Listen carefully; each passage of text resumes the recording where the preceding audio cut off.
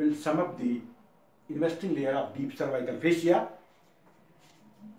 Remember, this deep investing layer of deep cervical fascia, it covers two muscles.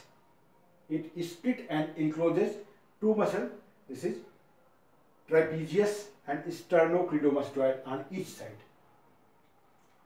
It covers, it forms the roof of the two triangles. Here is posterior triangle of the neck. This is posterior triangle of the neck and here is anterior triangle of the neck. So it forms the roof of anterior and posterior triangle that is two triangle of the neck. And it also encloses two glands. One gland is submandibular gland and another is parotid gland. It also forms sling at two sides. One sling is here which holds the intermediate tendon of the digastric and one sling is here which holds the inferior belly of the omohyoid. It also thicken and form the ligament. This ligament is stylomandibular ligament and here it form the thickened fascia that is parotidomasseteric fascia.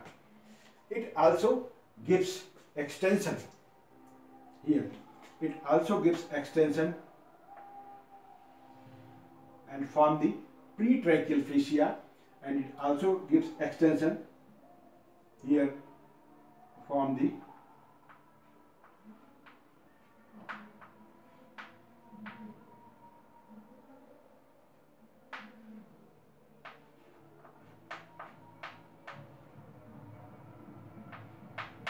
this is this is pre-vertebral fascia this is pre-tracheal fascia.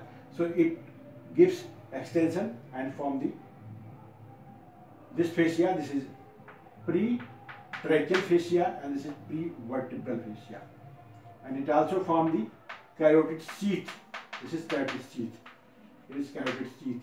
We'll discuss later in detail. So, this is all about the investing layer of deep cervical fascia. Thank you.